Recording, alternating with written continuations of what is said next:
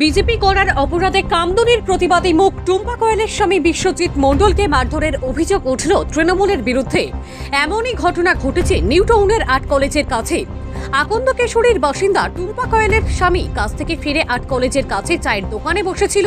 সেই সময় পাশ দিয়ে তৃণমূলের বিজয় মিছিল যাচ্ছিল। সেই মিছিল থেকেই একদল তৃণমূল কর্মী টুম্পা কয়েলের স্বামীকে ঘিরে ধরে। অকথ্য ভাষায় গালিগালাজের পাশাপাশি বেধড়ক মারধর করে বলে অভিযোগ। আহত অবস্থায় জিরানগাছা ব্লক প্রাথমিক স্বাস্থ্যকেন্দ্রে ভর্তি করা হয়। সেখানেই চিকিৎসা শুরু হয়। প্রাথমিক চিকিৎসার পর টুম্পা কয়েল তার আক্রান্ত স্বামীকে নিয়ে নিউটাউনের টেকনোসিটি থানাতে যায়, লিখিত অভিযোগ জানাতে।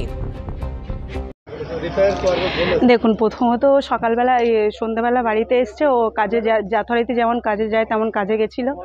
এবং কাজে থেকে ফেরার পরে ও যখন বাড়িতে এসছে, এসে ও একটুখানি ওয়েট করে জল খেয়ে একটু চায়ের দোকানে গিয়ে বসেছিল। চায়ের দোকানে গিয়ে বসা মাত্রই ওকে পিছন দিয়ে এসেই বলছে, তুই এখানে টিএমসি করে, তুই বিজেপিতে ঘুরেছিস? তুই বিজেপি হয়ে পতাকা নিয়ে ঘুরেছিস, বিজেপি হয়ে তুই গিয়ে স্লিপলি করেছিস? বলে এলোপেতেরই মারধর করেছে।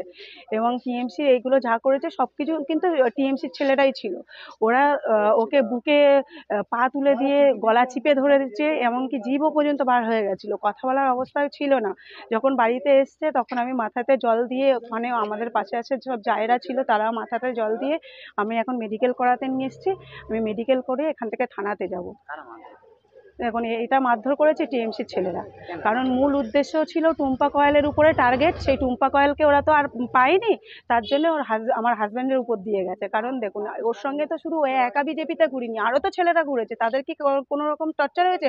হয়নি। কারণ শুধুমাত্র আমার কারণে তা- ওর গায়ে হাত তুলেছে। আমি চাইব যে যারা দোষ, দোষী যে মেরেছে, তার জন্য দৃষ্টান্তমূলক সাজা হয়। আমি অবশ্যই থানাতে গিয়ে কেস করব এবং তার নামে মামলা করতে বাধ্য হচ্ছে।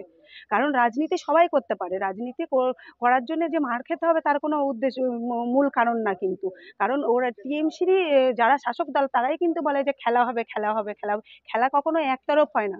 খেলা করতে গেলে দুটো তরফ লাগে। সেই ক্ষেত্রে দুটো তরফে খেলা হয়েছিল হ্যাঁ ওরা জিতেছে। তাই বলে যে মানুষের উপরে হচ্ছে মারধর করবে, এটাই কোনো শাস্ত্রে লেখা নেই। কোনো শাস্ত্রে লেখা নেই যে লোকের মারধর করতে হবে।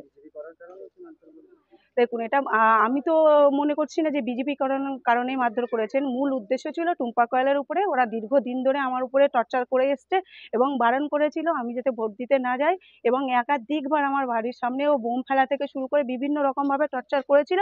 কোনো কিছুতেই আমাকে দমাতে পারিনি। তার জন্য আজকে শুধু মূল উদ্দেশ্য ওই কারণের জন্যই আজকের মার খেতে হচ্ছে ঘটনাটা যে আর্ট কলেজ আছে, সাপুজে টেকনোসিটির যে মোড়টা আছে, টার্নিংটা আর্ট কলেজের ওখানটা টুম্পা কয়াল। ডাক্তার এম এম ফিরোজ ও ডাক্তার এম এম রহমান দ্বারা পরিচালিত ঘটকপুকুর বিডিও অফিসের নিকটস্থ সিটি হসপিটাল। এখানে একই ছাদের তলায় ডায়াগনস্টিক সেন্টার সহ প্রতিদিন OPD IPD emergency ambulance pharmacy সহ আইসিইউ পরিষেবা পাওয়া যাচ্ছে। স্বাস্থ্যসাথী কার্ডের মাধ্যমে ফ্রিতে চিকিৎসা ও অপারেশনের জন্য এখনই যোগাযোগ করুন। স্ক্রিনে দেওয়া এই নাম্বারে। এবার আমাদের ওখানে আর্ট কলেজ বলে একটা জায়গা আছে। ওখানে একটু একটু বাইকের চাবিটা খুলে বসে একটা ফোন করছিলাম। ঠিক আছে?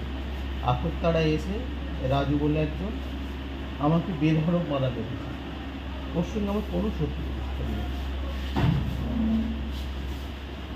এটা কখন হয়? আর কোন আর্ট কলেজটা কোথায়? জায়গাটা কোথায়? কখন হয়? আর্ট কলেজটা ওই তো আমাদের বাড়ি। সাপুজির টার্নিংয়ের আগে। কটা নাগাদ ঘটেছিল এটা? আটটা। আপনারা কোথায় লেগেছে? আমার সারা শরীরে ব্যথা বুকে মেরেছে এই হাতে মেরেছে এখানে মেরেছে ওখানে মেরেছে। আমি বলি মারছিস কেন? আরও মারছে আমি বুঝতে পারিনি পিছন দিকেই মেরেছি। আমি ওকে কোনো কথাই বলিনি। যে মেরেছে সে কোন দল কোন পার্টি করে? ও টিএমসি করে কি নাম? পুরো নাম কি তার? রাজু মণ্ডল। ভোট তো মিটে গেল তারপরে কেন মারতে গেল? সেটাই আমি বুঝতে পারিনি। সেটাই বলো যে মূল উদ্দেশ্য কারণটা কি? মূল উদ্দেশ্য কারণ আমি বিজেপি করতাম ঠিক আছে? হুম। এই জন্য আমি ওখানে বসেছি আমাকে গিয়েই মেরেছে?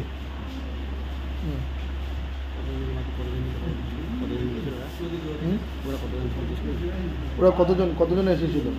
ওরা দু তিনজন এসেছিল। কিসে করে এসেছিল? বাজিয়ে করে। হুম। হাতে কোনো কিছু ছিল? হাতে ছিল কি আমি জানি না ও তো আমার হাত দিয়ে মারলো। পিছনে দু তিনজন দাঁড়িয়ে ছিল আমি ওদেরকে চিনতে পারি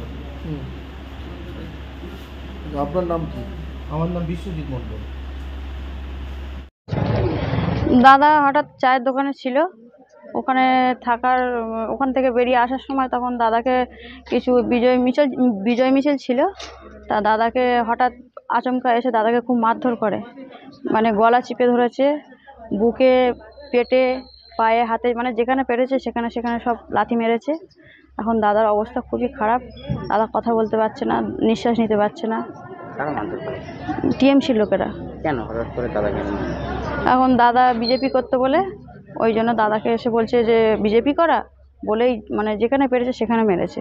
ঘটনা কোথায় ঘটেছে? ঘটনাটা ঘটেছে আর্ট কলেজ ওখানে। দাদার বাড়ি? হুম? দাদার বাড়িটা কোন জায়গায়? পেশরি এখন থেকে কারা মারধর করেছে? টিএমসি লোকেরা। আপনার নাম? সোমানাথ।